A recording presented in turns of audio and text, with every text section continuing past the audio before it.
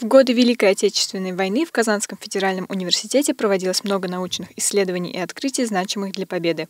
Одним из ученых, эвакуированных в Казань в военный период, стал советский физик Григорий Ландсберг. Он руководил разработкой новых методов спектрального анализа и использовал их для контроля качества плавок, легких и цветных сплавов на оборонных заводах. Зимой 1941 года были организованы оптические мастерские и налажено изготовление стелоскопов. Стелоскоп – прибор, предназначенный для быстрого визуального анализа различных сплавов металла.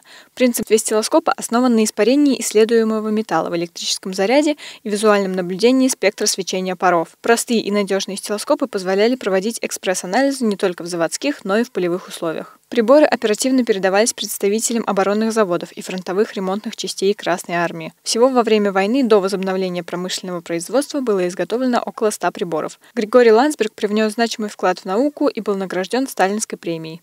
Ирина Анорина, Универньюз. Thank